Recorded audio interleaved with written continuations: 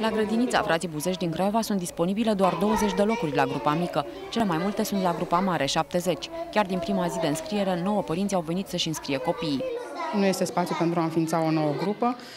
Îi direcționăm către grădinițele uh, din jurul nostru, alte grădinițe cu program prelungit, grădinița Nicolae Romanescu, grădinița Ion Creangă, au mai multe grupe mici, au 3-4 grupe mici și se rezolvă. Nu au fost probleme în niciun an. Chiar dacă numărul de cerere a fost peste numărul de locuri, am reușit să ajutăm pe părinți și am direcționat să rezolvat problemele.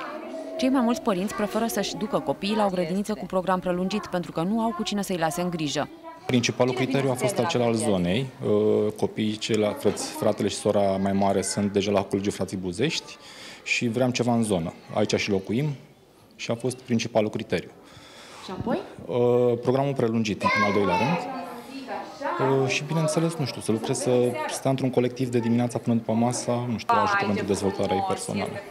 În total, în Dolj sunt disponibile 16.600 de locuri în grădinițe structurate pe grupe de vârstă. Cele mai multe cereri sunt însă în Craiova. La nivelul uh, fiecărui unități de învățământ, conducerea unității va stabili criterii generale de înscriere, acolo unde numărul de locuri este mai mic decât uh, nivelul solicitărilor.